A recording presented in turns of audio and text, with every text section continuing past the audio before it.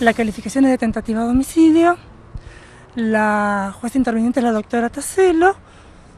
La detención se declaró legal, se formalizó por la calificación y la plataforma fáctica solicitada por la Fiscalía. Se dio tres meses de investigación y asimismo se dictó la prisión preventiva del menor por el término de tres meses, pero sujeta a la obtención de una tobillera con GPS una vez que sea eh, que pueda eh, obtenerse la misma, pasaría a estar en prisión continua en el domicilio. Mientras tanto, permanecerá en una comisaría. Exactamente, mientras tanto permanecerá en una comisaría.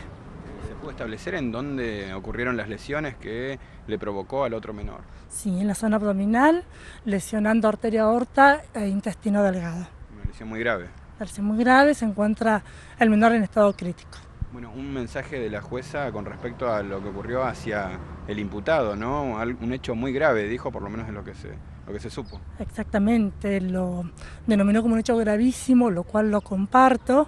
Tengamos en cuenta que hablamos de dos menores de edad de 16 años y la forma de solucionar un conflicto culminó con una lesión en la que puso en riesgo la vida de un menor en este caso. ¿Se pudo conocer ¿Por qué fue o cuál es el motivo del ataque o qué fue lo que pasó entre ellos dos? Estamos determinándolo. Todo habría comenzado por disputas eh, entre compañeros, probablemente por alguna chica, alguna disputa de días anteriores, pero todavía no está del todo esclarecido.